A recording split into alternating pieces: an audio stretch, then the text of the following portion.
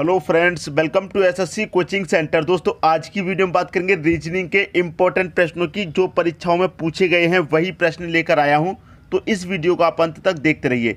तो चलिए स्टार्ट करते हैं दोस्तों। पहला प्रश्न है आपका, यहाँ पर दे रखा वी एच का रिलेशन चौदह से दे रखा है तो एक्स टी का रिलेशन यहाँ पर किससे बनेगा?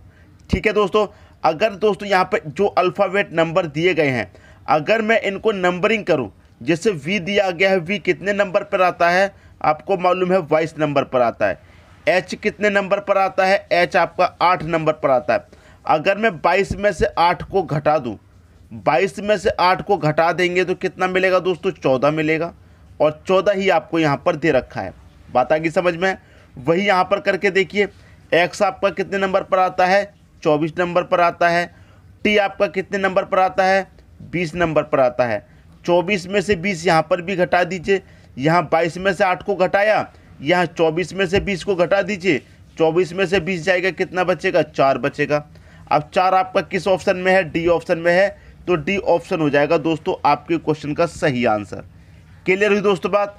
आप हमेशा याद रखिएगा, जो आपको ये अल्फ़ावेट नंबर दिए गए हैं, ये टोटल कितने होते हैं? एक से लेकर छब्बीस तक होते हैं, ठीक है? आपको इनको याद कर लेना है।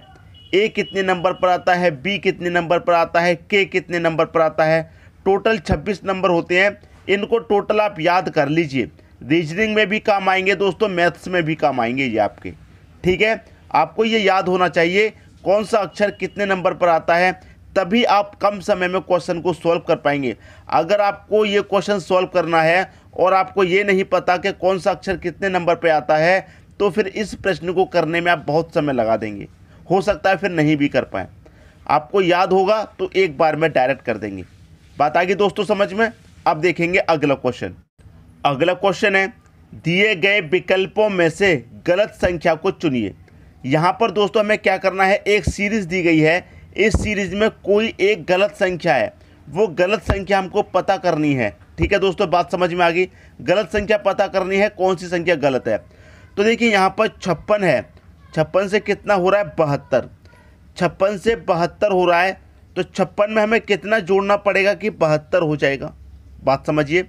छप्पन से बहत्तर हो रहा है, कितना जोड़ना पड़ेगा कि बहत्तर हो जाएगा? आप कहेंगे, सर, सोलह जोड़ना पड़ रहा है। ठीक है? बहत्तर हो गया। अब बहत्तर से कितना हो रहा है? नब्बे। अब बहत्तर में हमें कितना जोड़ेंगे कि नब्बे हो जाएगा? आप कहेंगे कि, सर, अठारह जोड़ना है। ठीक है? नब्बे हो गया। और नब्बे से हमें कितना करना है? एक सौ दस। कितना जोड़ेंगे? नब्बे में कि एक सौ दस हो जाए। आप बोलेंगे कि सर बीस जोड़ दीजिए, एक सौ दस हो जाएगा। ठीक है? अब एक सौ दस से हमें कितना बनाना है? एक सौ बत्तीस। कितना जोड़ेंगे? आप कहेंगे कि सर बाईस जोड़ दीजिए। कितना हो जाएगा? एक सौ बत्तीस हो जाएगा। अब देखिए, यहाँ पर आ जाइए।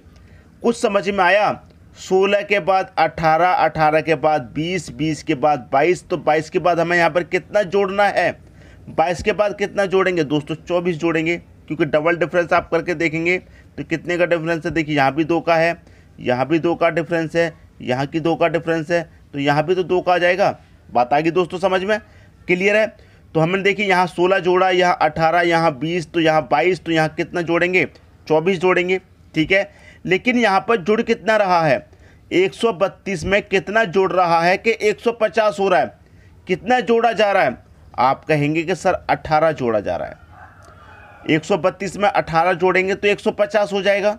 क्लियर हुई बात? लेकिन हमें जोड़ना कितना था? हमें जोड़ना था दोस्तों 24 क्लियर है? कितना जोड़ना था? 24 अब हम 132 में कितना जोड़ते दोस्तों? 24 जोड़ते। 132 में हमें कितना जोड़ना था? 24 तो चार और तीन कितना? सात। बारह और दो कितना? चौदह। कितना आता हमारा? एक सौ सैंतालीस। तो ये गलत हो गया दोस्तों, यहाँ पर 123 हमने गलती से लिख दिया। कितना था? 132 क्लियर है? 132 में कितना जोड़ना था? हमें 24 जोड़ना था। ये गलत हो गया दोस्तों। गलती से 123 लिख गया। दो और चार कितना दोस्तों? छः। क्लियर है? तेरह और दो कितना? पंद्रह। कितना आता दोस्तों? एक सौ छप्पन आता। लेकिन कितना दे रखा है? 150 दे रखा है।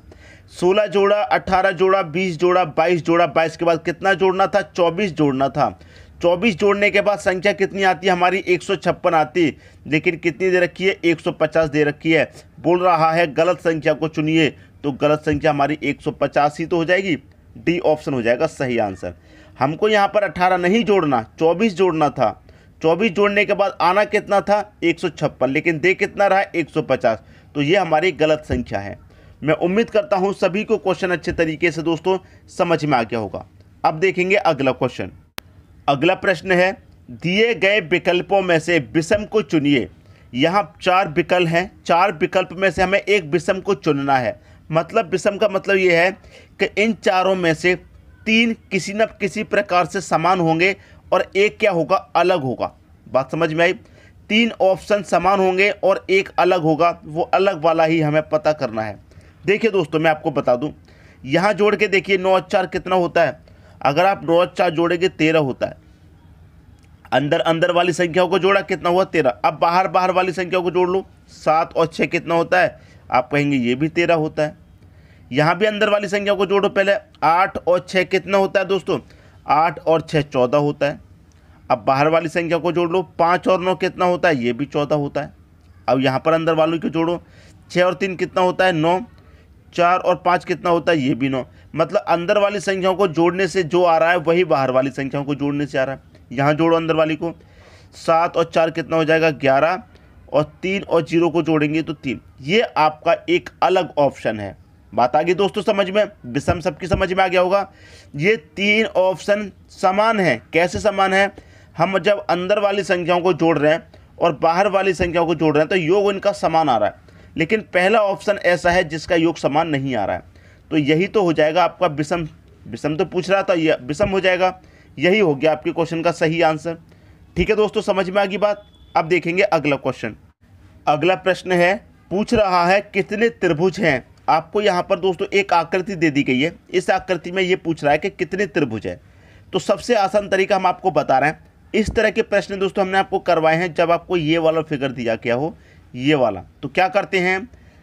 काउंट कर लेते हैं। एक, दो, तीन, चार। सभी को जोड़ेंगे कितना हो जाएगा? एक और दो, तीन तीन छः चार कितना? दस। मतलब इसमें पूरे में कितने त्रिभुज बनेंगे? दस बनेंगे। तो यहाँ पर इसको जब हम काउंट करेंगे, एक, दो, तीन, चार। इसमें भी चार तक है तो इसका मतलब इसमें भी दस बनेंगे। इसको काउंट कर लीजिए इतने को। एक, दो, तीन, चार। चार तक है तो इसका मतलब इसमें भी दस बनेंगे। दस दस, बीस और दस कितने बन गए अभी तक? टोटल तीस बन गए। ठीक है? तीस बन गए। अब आ जाइए अंदर। अंदर काउंट करते हैं दोस्तों। देखिए, एक तो ये वाला त्रिभुज हो गया एक एक ये वाला हो गया दो और एक ही हो गया बड़ा वाला तीन। तो तीन दोस्तों इसमें बनेंगे। तीन ही इसी प्रकार से इसमें बनेंगे। तीन ही इसी प्रकार के इसमें बनेंगे। तो कितने हो गए? नौ हो गए। नौ और जोड़ दीजिए यहाँ पर। ठीक है? एक ये वाला, दूसरा ये वाला, तीसरा ये वाला चौथा ये वाला। चार ये हो गए, चार और जोड़ दो, ठीक है? आप बड़े बड़े गिन लीजिए। एक ये वाला हो गया, बड़ा वाला। एक दोस्तों, ये वाला हो गया, बड़ा वाला, दो हो गए, और एक ये हो गया, बड़ा वाला, कितने हो गए? तीन। तो तीन और ऐड कर दीजिए, सभी को जोड़ लीजिए, आंसर आ गया। तीस में नौ जोड़ो, उनतालीस। उनतालीस में चार जोड़ेंगे, तैतालीस। तैतालीस में तीन जोड़ेंगे, कितना? छियालीस। तो इस आकृति में दोस्तों, कितने त्रिभुज हुए? छियालीस त्रिभुज हो जाएँगे। पहला ऑप्शन हो जाएगा आपके क्वेश्चन का दोस्तों सही आंसर मैं उम्मीद करता हूँ सभी को प्रश्न बहुत ही अच्छे तरीके से समझ में आ गया होगा। अब देखेंगे अगला क्वेश्चन अगला क्वेश्चन है, विवाह का रिलेशन आपका समारोह से है तो मृत्यु का रिलेशन यहाँ पर क्या बनेगा? देखिए दोस्तों, विवाह का रिलेशन किससे है? समारोह से। आप विवाह में जाते हैं, विवाह में क्या होते हैं? समारोह होते हैं, ठीक है? जब आप मृत्यु में जाते हैं तो मृत्यु में दोस्तों क्या होता है? विलाप होता है। ये आपको पता है मृत्यु, देखिए आप जब विवाह विवाह में गए तो विवाह में जाएँगे तो समारोह होता है वहाँ पर, लेकिन जब मृत्यु में जाएँगे तो मृत्यु में क्या होता है? विलाप होता है। ठीक है? तो ये भी ऑप्शन हो जाएगा इस प्रश्न का सही आंसर क्लियर है? समझ में आ गई बात? अब देखते हैं अगला क्वेश्चन अगला प्रश्न है आपका। दोस्तों, आपको क्या पूछ रहा है? यहाँ पर पूछ रहा है कितने त्रिभुज है? और इस तरह की आकृति अगर दी जाए तो कैसे काउंट करते हैं? सबसे आसान तरीका। इस तरह के वीडियो के लिए मैं बना चुका हूँ दोस्तों। अगर आपको इस तरीके का कोई भी क्वेश्चन पूछा जाए, मैं वीडियो बना चुका हूँ, आप प्लेलिस्ट में जाकर के देख लेना रीजनिंग में। लेकिन यहाँ पर ये क्वेश्चन आ गया है तो समझ लीजिए फिर से। सबसे आसान तरीका, यहाँ पर क्या करना है, आपको काउंट करना है बॉक्स को। एक, दो, तीन और चार। चार हैं तो चार का डबल कर दीजिए, कितना हो जाएगा? आठ। इसका मतलब इसमें कितने त्रिभुज हुए? आठ। आप गिन के दिखा देते हैं आपको। एक तो ये वाला हो गया दोस्तों, एक। ठीक है? दो नंबर ये वाला हो गया। ठीक? तीन नंबर ये वाला हो गया, ठीक चार नंबर ये वाला हो गया, क्लियर है? अब पाँचवा होगा दोस्तों ये बड़ा वाला पाँच, ठीक है? छः होगा ये वाला बड़ा वाला छः ठीक है? यहाँ से काउंट कीजिए, ये हो जाएगा सात और ये इधर वाला हो जाएगा आठ तो इसमें आठ हो गए, क्लियर है? आठ हो गए। जब इसमें आठ हो गए तो इसे भी काउंट कीजिए, एक, दो, तीन, चार, इसमें भी डबल कर दीजिए, चार का डबल कितना हो जाएगा आठ, एक, दो तीन, चार। चार का डबल कितना हो जाएगा दोस्तों? आठ। एक, दो, तीन, चार। चार का डबल कितना हो जाएगा? आठ। क्लियर है?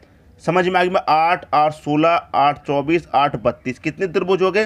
ये हो गया आपके अभी तक बत्तीस। अभी इसमें और हैं। जब आपको ऐसा लगातार लगातार आकृति दे रखी हो तो ये बीच वाले जो पॉइंट हैं, जो बीच वाले दो पॉइंट हैं, ये मिलकर के आपस में कितने त्रिभुज बनाते हैं दोस्तों? दो बनाते हैं। कैसे? अगर जब यहाँ पर ये पॉइंट मिल रहे हैं तो देखिए, एक ये बड़ा वाला त्रिभुज ऐसे बनेगा, ऐसे। एक बन गया, एक इधर साइड से भी बनेगा, क्लियर, दो बन गए। क्लियर है तो दो पॉइंट ये बीच में मिलकर के दो त्रिभुज बनाते हैं। जब ये वाले दोस्तों दो बना रहे हैं तो दो ही त्रिभुज ये वाले बनाएँगे। क्लियर है? प्लस दो करो यहाँ पर। बात आई समझ में? जब ये वाला बड़ा आकृति बन रही है तो ये वाले भी दो मिलकर बनाएँगे।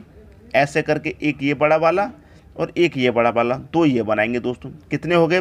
दो, चार छः तो छः और प्लस कर दो इस बत्तीस में। अब इसमें एक बड़ा त्रिभुज दोस्तों और बन रहा है। कहाँ से? देखिए, यहाँ से। ये पूरा ऐसे करके आइए आप, ऐसे ऐसे जाइए और ऐसे जाइए। तो एक बन गया ये। तो इसमें हमें एक प्लस और करना पड़ेगा। तो कितने हो गए? बत्तीस और छः अड़तीस। अड़तीस में एक जोड़ो कितना? उनतालीस। तो इसमें कितने त्रिभुज बन रहे हैं दोस्तों? उनतालीस त्रिभुज बन रहे हैं। सी ऑप्शन हो जाएगा आपके क्वेश्चन का सही आंसर मैं उम्मीद करता हूँ सभी को प्रश्न अच्छे तरीके से दोस्तों समझ में आ गया होगा। अब देखेंगे अगला क्वेश्चन अगला क्वेश्चन है लॉजिकल का अर्थ कितना दे रखा है? चौदह। मतलब लॉजिकल का रिलेशन चौदह से है तो पिक्चर का रिलेशन यहाँ पर क्या बनेगा? सिंपल सा क्वेश्चन है, अगर आप संख्याओं को ध्यान से देखेंगे, अगर आप इनकी प्रैक्टिस करते हैं तो आसानी से समझ में आ जाएगा। ज़रूरी नहीं है कि हर बार आपको इनको नंबरिंग ही करना पड़े। ज़रूरी नहीं है हर बार आपको इनको नंबरिंग ही करना पड़े, तभी इससे रिलेशन बनेगा। डायरेक्ट रिलेशन भी कभी कभी बन जाता देखिए कैसे। आप इन सभी संख्याओं को जोड़िए, कितने हो गए? एक, दो, तीन, चार, पाँच छः सात। कितनी संख्या दोस्तों? ये सभी सात हैं। और सात का मल्टीप्लाई अगर आप दो से कर दें तो आपको कितना मिल जाएगा? चौदह मिल जाएगा ये वाला। यहाँ पर सभी संख्याओं को जोड़िए। एक, दो, तीन, चार, पाँच छः सात। यहाँ भी संख्या कितनी है? सात। तो यहाँ दो से मल्टीप्लाई किया था तो यहाँ भी दो से कर दो, सात दुनी का कितना हो जाएगा चौदह। किस ऑप्शन में चौदह है? बी ऑप्शन में चौदह है तो बी ऑप्शन हो जाएगा सही आंसर यहाँ चौदह से रिलेशन है दोस्तों, यहाँ भी चौदह से बनेगा। कन्फ्यूज़न वाली कोई बात नहीं है। अब देखेंगे अगला क्वेश्चन अगला क्वेश्चन है, दिए गए विकल्पों में से विषम को चुनिए। यहाँ भी दोस्तों चार ऑप्शन है, चार ऑप्शन में से यहाँ पर भी हमें क्या करना है? विषम को चुनना है, ठीक है? तो डायरेक्ट विषम को चुन के देखते हैं, देखिए कैसे? डायरेक्ट कैसे? यहाँ पर हमें जो ऑप्शन दे रखे हैं सीधे सीधे सभी को जोड़ करके देखते हैं। चार पाँच संख्याएँ होती तो हम क्या करते बीच बीच वाली को जोड़ के देखते हैं, आह, बाहर बाहर वाली को जोड़ कर देखते हैं, जैसे पहले क्या था, लेकिन यहाँ पर तीन संख्या हैं। तो डायरेक्ट जोड़ करके देखते हैं, तीन संख्या वाला हो या दो संख्या वाला हो तो उसे डायरेक्ट करके देख लेते हैं। चार और छः दस दस में पाँच जोड़ो, पंद्रह। इनका योग कितना आया पंद्रह। आठ, सात, पंद्रह होता है दोस्तों ये भी, ठीक है? एक और आठ कितना हो जाएगा? नौ। नौ में दो जोड़ेंगे, कितना हो जाएगा? ग्यारह। सात और सात, चौदह। चौदह में एक जोड़ो, पंद्रह। तो तीन किसी ना किसी प्रकार से समान होते हैं और एक अलग होता है। तो देखिए, इसका योग भी पंद्रह है, इसका योग भी पंद्रह है, इसका योग भी पंद्रह है। ये सी ऑप्शन एक ऐसा है जिसका योग ग्यारह है तो यही क्या हो जाएगा? विषम हो जाएगा। तो आपके क्वेश्चन का जो सही आंसर है, वो हो जाएगा सी ऑप्शन ग्यारह। ये आपके क्वेश्चन का सही आंसर हुआ एक सौ बयासी। तो मैं उम्मीद करता हूँ प्रश्न आप सभी को बहुत अच्छे तरीके से समझ में आके होगा। दोस्तों, यदि वीडियो पसंद आया तो लाइक करें और दोस्तों में भी शेयर करें। यदि आपने हमारे चैनल को अभी तक सब्सक्राइब नहीं किया है तो कर लीजिए और बेलाइकन का बटन भी दबा दीजिए दोस्तों। धन्यवाद।